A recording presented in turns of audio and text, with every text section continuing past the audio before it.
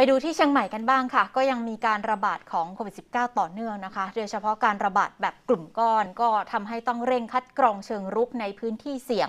แล้วก็ยังทำให้พื้นที่ชุมชนช้างคลาน เป็นพื้นที่เฝ้าระวังสูงไปแล้วค่ะ ติดตามกับคุณวสันต์ปัญญาเรือนรายงานสดจากเชียงใหม่ค่ะ คุณวสันต์คะ ครับ จังหวัดเชียงใหม่พบผู้ติดเชื้อโควิด -19 รายใหม่ 41 คนนะครับ ส่วนใหญ่ก็ยังคงมาจากการระบาดเป็นกลุ่มก้อนเดิมที่พบผู้ติดเชื้อรายใหม่ที่อยู่ระหว่างกักตัวนะครับ ขณะเดียวกันก็ได้เน้นย้ำให้ผู้ที่อยู่ระหว่างกักตัวนั้นต้องปฏิบัติตามมาตรการอย่างเคร่งครัด เพื่อลดการแพร่ระบาดไปสู่คนในครอบครัวครับ จังหวัดเชียงใหม่ยังคงประกาศให้ชุมชนช้างคานที่ตั้งอยู่กลางเมืองอำเภอเมืองเชียงใหม่เป็นพื้นที่เฝ้าระวังสูง โดยเฉพาะ 6 จุดที่พบผู้ติดเชื้อเป็นกลุ่มก้อน ให้งดการเดินทางเข้าออก โดยไม่มีเหตุจำเป็นเพื่อลดความเสี่ยงต่อการสัมผัสโรค และป้องกันการแพร่ระบาดเป็นเวลา 14 วันครับ ตั้งแต่วันที่ 17 ถึงวันที่ 30 สิงหาคม หลังพบผู้ติดเชื้อโควิด -19 ในพื้นที่แล้ว 26 คน โดยให้ผู้สัมผัสเสี่ยงสูงทุกคนต้องเข้ารับการตรวจหาเชื้อหากผลเป็นลบ ก็ให้กักตัวเองที่บ้าน 14 วัน ส่วนกลุ่มเสี่ยงต่ำให้คุมไว้สังเกตอาการ 14 วัน และปฏิบัติตามคำสั่งของเจ้าพนักงานควบคุมโรคติดต่ออย่างเคร่งครัด งดการทำกิจกรรมรวมกลุ่มต่างๆ เช่น การจัดตลาดนัด ร้านค้าร้านอาหารต่างๆ ซึ่งสามารถประชาชนก็ยังสามารถออกมาซื้ออาหารได้ พื่อให้รีบกลับเข้าบ้านและไม่ควรใช้เวลาพูดคุยกันเป็นเวลานานเพราะอาจเสี่ยงต่อการแพร่เชื้อครับ เพื่อให้ธุรกิจต่างๆ ในชุมชนยังคงขับเคลื่อนไปได้ครับ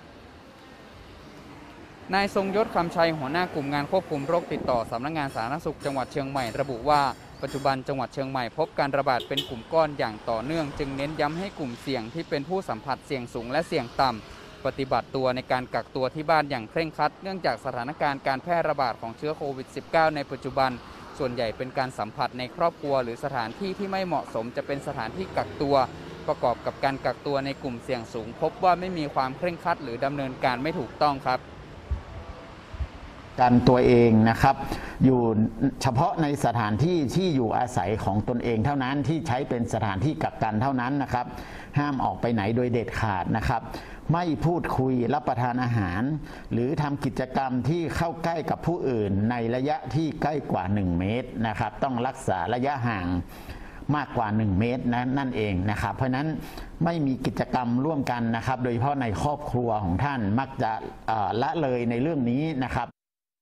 ด้านข้อมูลการฉีดวัคซีนของจังหวัดเชียงใหม่ตอนนี้มีผู้ได้รับการฉีดวัคซีนไปแล้วกว่า 350,000 คนนะครับ ซึ่งเป้าหมายของการเกิดภูมิคุ้มกันหมู่ตั้งเป้าไว้ที่1ล้าน2แสนคนสำหรับกลุ่มผู้สูงอายุขณะนี้ฉีดวัคซีนไปเพียงร้อยละ 26 ผู้ป่วย 7 กลุ่มโรคเรื้อรังฉีดวัคซีนไปเพียงร้อยละ 34 ประชาชนทั่วไปที่อายุ 18-59 ปี ฉีดไปแล้วร้อยละ 27 ครับ ดังนั้นคณะกรรมการบริหารจัดการวัคซีนจึงได้จัดแคมเปญพิเศษเชิญชวนให้กลุ่มเสี่ยงสูงเข้ารับการฉีดวัคซีนให้มากขึ้น โดยเฉพาะหญิงตั้งครรภ์ที่มีอายุครรภ์ตั้งแต่ 12 สัปดาห์ขึ้นไปสามารถ walk in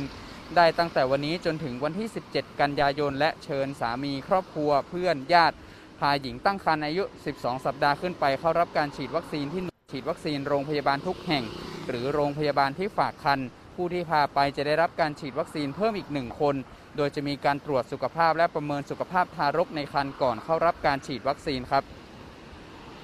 ขณะที่ผู้สูงอายุและประชาชน 7 กลุ่มโรคเรื้อรังให้ walk in เข้ารับการฉีดวัคซีนในวันเสาร์ที่ 21 สิงหาคมนี้ ที่ 3 หน่วยฉีดวัคซีนก็คืออุทยานหลวงราชพฤกษ์พรอมเมนาดาและเซ็นทรัลเฟสติวัลครับและวันจันทร์ที่ 23 สิงหาคม walk in ได้ที่หน่วยฉีดวัคซีนหอประชุมมหาวิทยาลัยเชียงใหม่เท่านั้นครับ จากข้อมูลการฉีดวัคซีนของประชาชนในจังหวัดเชียงใหม่ทุกกลุ่มนั้น ล่าสุดฉีดไปได้เพียงร้อยละ 30 นะครับ จากประชากรกลุ่มเป้าหมายที่ตั้งไว้1ล้าน2แสนคนนะครับจังหวัดเชียงใหม่ก็ยังคงเชิญชวนให้ประชาชนนั้นออกมาฉีดวัคซีนอย่างต่อเนื่อง โดยการจัดแคมเปญรณรงค์ต่างๆ เพื่อร่วมกันสร้างภูมิคุ้มกันหมู่ครับ ขอบคุณคุณวสันต์